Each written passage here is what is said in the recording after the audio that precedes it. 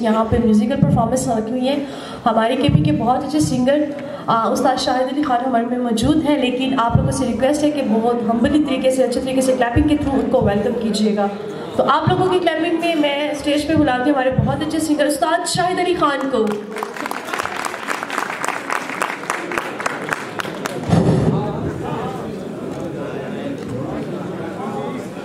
السلام علیکم۔ آپ سب کو خان صاحب استاد شاہد علی خان کا سلام اور ادا پشتو گانا سنیں گے اردو سنیں گے پنجابی کیا سنیں گے؟ پشتو چلیں جی پشتو لگا دیں۔ پشتو اتڑ پیش کر رہا ہوں اور اتڑ کے لیے اگر کوئی آنا چاہے تو آ جائیں۔ چپتے بولے گی اتڑ دا بارہ سو برازن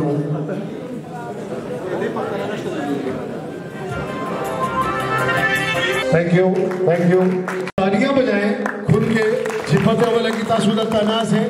ذرا زور سے تالیاں بجائیں۔ Thank you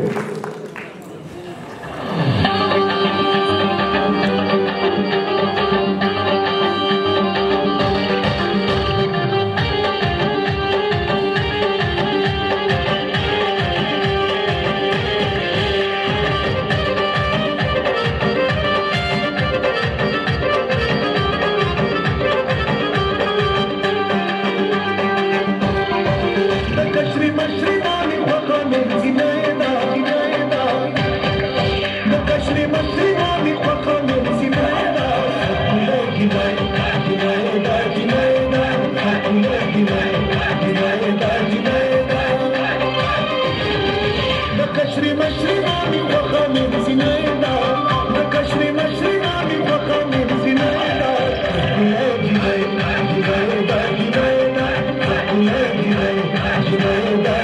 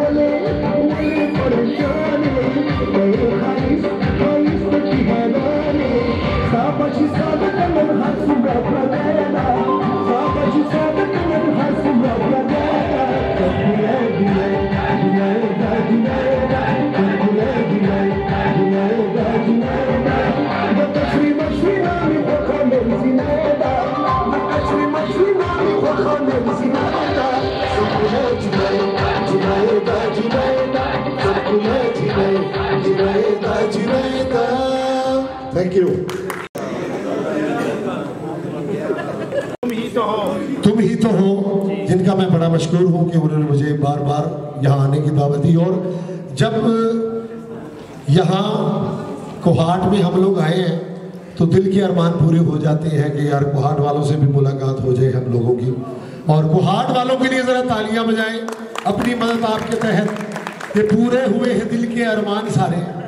یہ تیری محبت کے احسان سارے۔ میں پیش کر رہا ہوں ملاحظہ فرمائیں